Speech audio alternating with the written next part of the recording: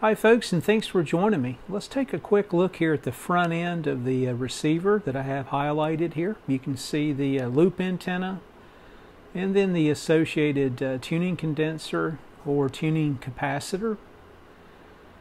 And again the loop antenna itself is nothing more than the antenna coil so just keep that in mind and this forms a uh, tank circuit so it's just an inductor slash coil in parallel with a capacitor slash condenser.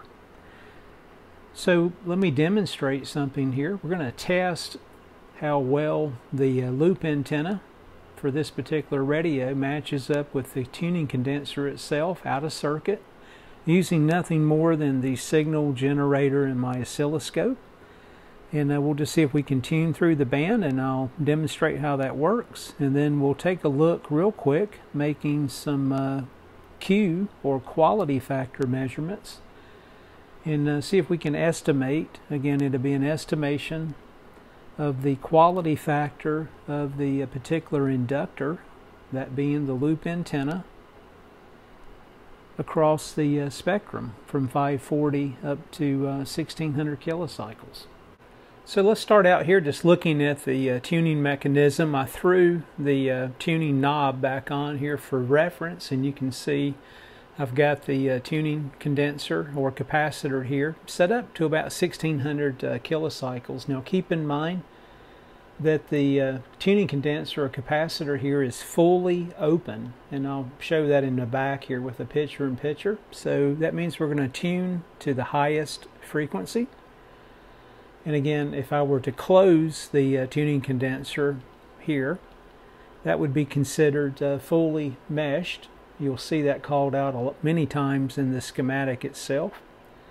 And that means that would be maximum capacitance, and that would tune to the uh, lowest frequency, as you can see here on the uh, dial.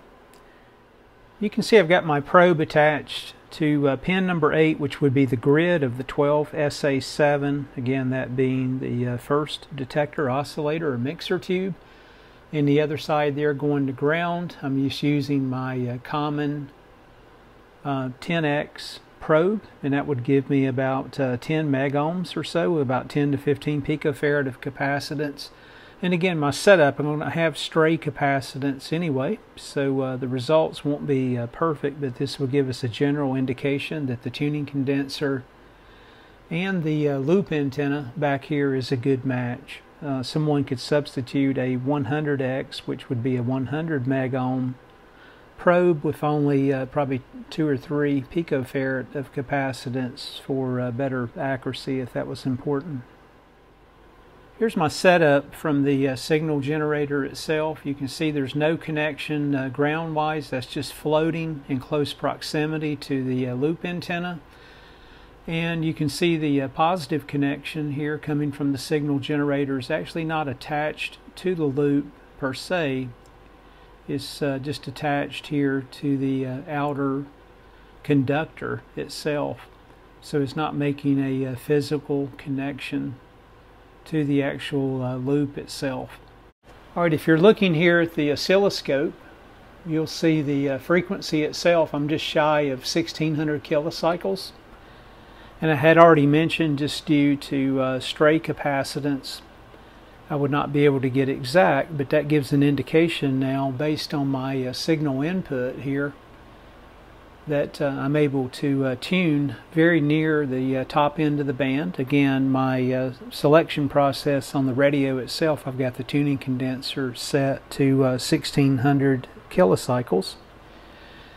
And if I vary the uh, signal generator here, you can see how the amplitude drops off. So you can see that the tank circuit is working as it should, and it's resonating let me uh, flip over to uh, 540 kilocycles.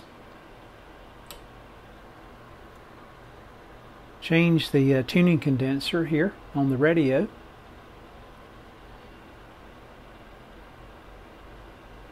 And you can see here where we're peaking.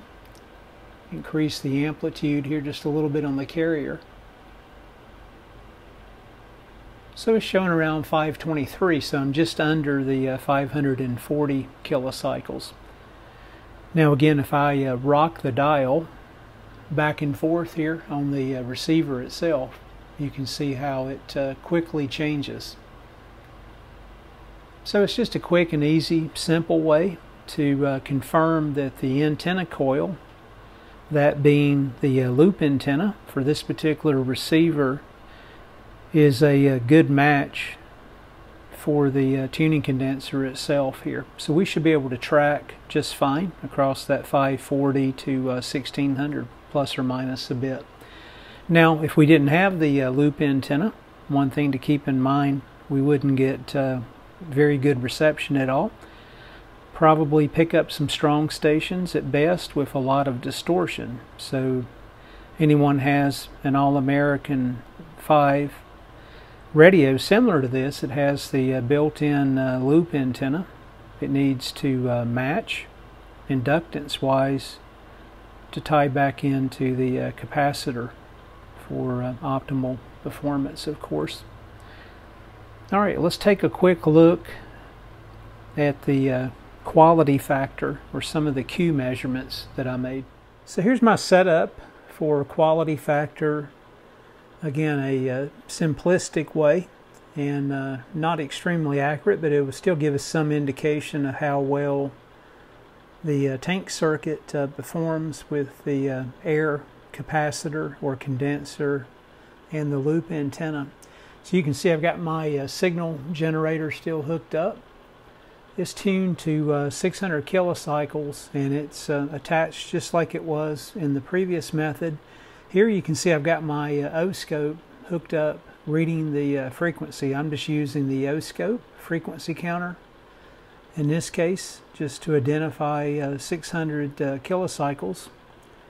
You can see the radio is uh, tuned to 600 and then you notice I've got this small circuit built here. This is nothing more than an RF probe. I'll share the uh, schematic here. I'm just taking the RF signal and converting it back to uh, DC. So I can just measure that directly on my meter. So what I'll do is just take the peak of the uh, level reading that you see here, multiply that times 0.707. That will be uh, the minus 3 dB point, which is uh, reduced power of one half of either sideband. So what I'm going to do is just rock the uh, signal generator to the right, to the left, and uh, take note of the uh, point 707 point of the max reading.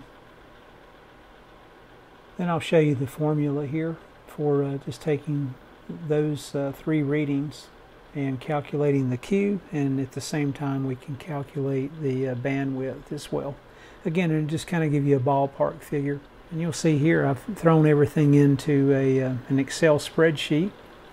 And if you look at the Excel spreadsheet here, you can see how the uh, the bandwidth measurements that I was able to uh, read here